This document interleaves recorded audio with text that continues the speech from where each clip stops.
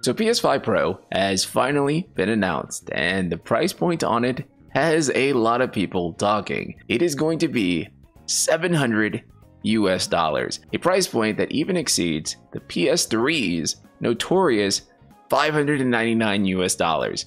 This thing is going to be pretty expensive, and it also is not going to feature a disk drive. You will be able to take the disk drive from your current PS5 and be able to use it on this machine. So in that sense, it's not like you can't use your disk on the PS5 Pro but there's not going to be a SKU that you can buy straight out of the gate that is going to allow you to use your disc on PS5 Pro. Meaning that if you have a launch PS5, you're going to need to buy um, that disk drive as well. And once you get taxes that are included in there, you're probably looking at around $800 for the PS5 Pro. That's a pretty substantial price point for this upgrade. This is not going to be cheap at all. And I know we don't expect these Pro units to necessarily be cheap, uh, but we do expect them to be somewhat reasonable in price. And of course, a Pro version of a console is expected to be a little bit more pricey than the base unit, right? you are paying for that ultimate gaming experience. It, it's specifically for the customer who has the money and wants a gaming experience to be the best possible thing that it can be. And that's understandable. Uh, but $700 does have a few people like, I don't know about that, man. You know, consoles are a cheaper place to play than PCs, of course. Like, that's like the whole selling point is that you can get this 4K high-end gaming without necessarily having to pay the same price that I'd have to pay for a brand new GPU. However, for $700, if you have an existing rig, you could probably put a pretty decent GPU in there for that price. You can get a 4070 Ti Super, and you'd be playing all these games at the 4K 60 that this machine is supposed to promise you, and you'd probably get more bang for your buck. Not to mention that a lot of people just don't have the TV necessary in order to re really take advantage of this. Like a lot of you are still rocking 1080p TVs. If you have a three or four hundred dollar television that you got from like Walmart, I don't think you need to buy this machine. I think it is going to be way overpriced for you. I don't think it's really going to provide the value. You do need a really good monitor, a really good screen for this PS5 Pro to truly give you the visual fidelity that you're looking for. And a lot of you would probably benefit more for putting that $700 on a better TV screen that can really get you, you know, maximize your current PS5's visuals. Like if you don't have like an OLED screen, for example, I would say go and buy an OLED TV, and you'll get more of a visual upgrade from doing that with your base PS5 than you will from getting the PS5 Pro. And then for Final Fantasy VII fans, Final Fantasy VII Rebirth is going to be getting an enhanced version for the PS5 Pro. So this is going to be really awesome because as you guys probably know with Final Fantasy VII Rebirth, very gorgeous game. However, whenever you play that game on performance mode, it is incredibly blurry. The graphics are really good when you play on graphics mode, but man, on performance mode, it is just incredibly rough. It looks like there is a layer of Vaseline rubbed on top of the game. It is not the best look. I've been wanting to replay this game, but I, man, the next time I replay it, I want to play it at full visual fidelity and not um, having to choose between two vital components, and that being my ability to physically see the game and um, 60 frames per second. And so uh, I believe the PS5 Pro enhanced version of Rebirth is going to really address that. And I mean, we've already seen with Intergrade, for example, that jump between PS4 Pro version of the game and then the PS5 version was already really good. And so um, I can only imagine that Rebirth is going to look and play excellent on PS5 Pro. But that being said, I mean, there's definitely going to be a lot of people who still just want a PC version of this and uh, would be able to get all the features that they're looking for from that.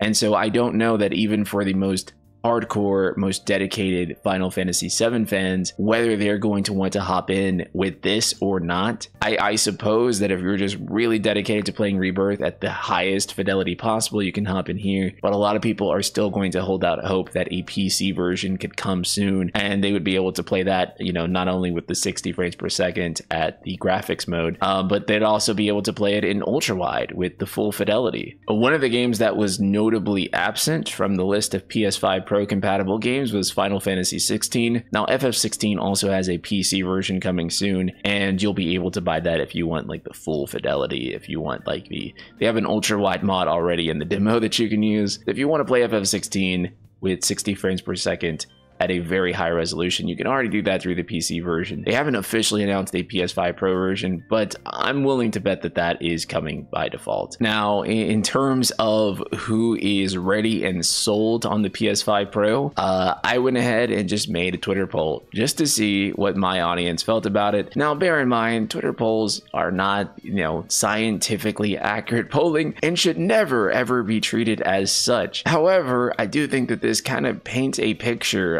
of the reality of how people felt about the PS5 Pro reveal. Only 8.9% of people so far out of 1,016 votes, that's it's only been like two hours that the poll has been up, have said that they're sold on the PS5 Pro. And 77.5% saying that they're not sold on it, 11.2% saying that they need more information, and 2.5% saying other. As we read through some of the comments here, my boy Bear Boy is saying, I didn't already own a PS5, that I'm barely playing PS5 games on, I would be inclined to pick up a Pro. More power and 2 terabyte storage is great, but for $700 with no disk drive is crazy. I don't give a damn what enhancements 7R2 or 3 will support, and that's a fair point. Rin here saying, not really, but I'll get it anyway. I'm sure there'll be quite a few people that will do that too, because as we all know, there's people that love to complain, but they'll still buy and consume anyway. Buster Sword user here saying, I think it sold me on upgrading my PC. Again, um, you know, if you already have a PC, you already have a rig,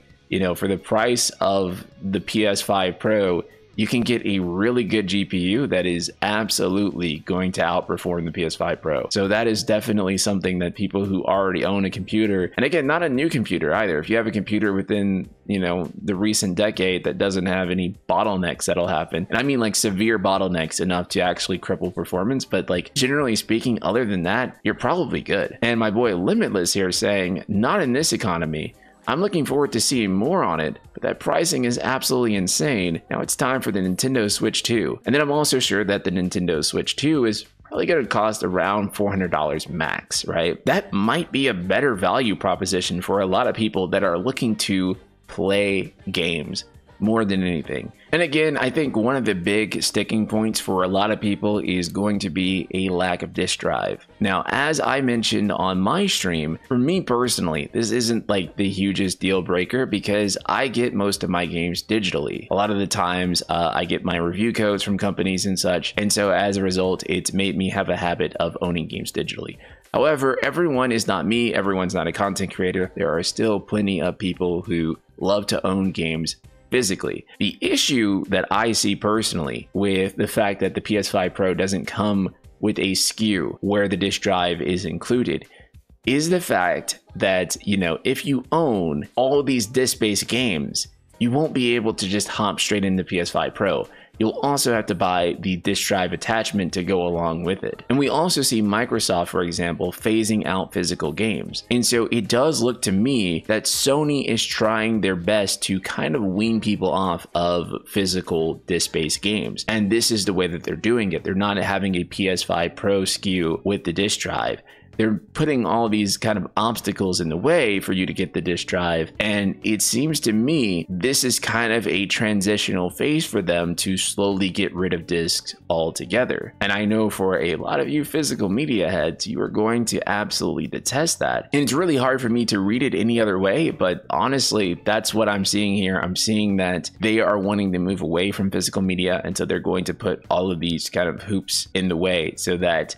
you know, it kind of de incentivizes you from wanting to buy that disk drive, especially when the disk drive is $80, right? So this is a $700 console, and then they want you to spend $80 on top of that. So, I mean, if you're a disc based user and you don't really own digital games like that, and you're purely physical, and you want to upgrade to PS5 Pro, then you're going to spend almost $800, and that's before tax. That is a lot of money to ask in this economy, and I just don't think that a lot of people are going to budge for it. People are not as enthused by it after its announcement compared to before. Before the announcement, I felt a lot of energy coming from people about it, but now I'm just really feeling the skepticism, and a lot of people are just not too happy about this thing. But please, let me know your thoughts in the comments below, and if you'll be purchasing a PS5 Pro. And I'll see you all in the next video. Later, guys.